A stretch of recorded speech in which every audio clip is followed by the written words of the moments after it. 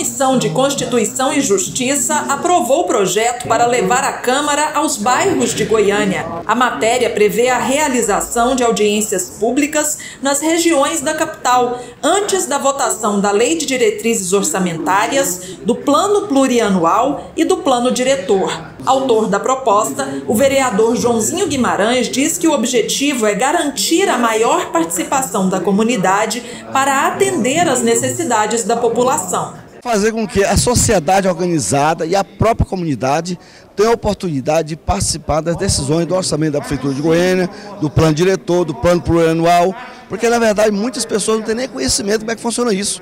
Então esse momento seria um momento das pessoas terem a oportunidade das suas sugestões, suas opiniões e participar sim das decisões da, da, Prefeitura de Goiânia. Fazer com que a Câmara vá até onde está o cidadão, porque muitas pessoas não conhecem nem a Câmara Municipal, nunca vieram aqui na Câmara Municipal. Então essa é uma oportunidade, e às vezes a pessoa vir aqui na Câmara, ou então a Câmara ir até o cidadão, para poder fazer com que ele possa ter conhecimento das suas decisões, que é de responsabilidade da sociedade, porque a sociedade sabe o que quer, não é os vereadores que vão decidir tudo que a cidade quer.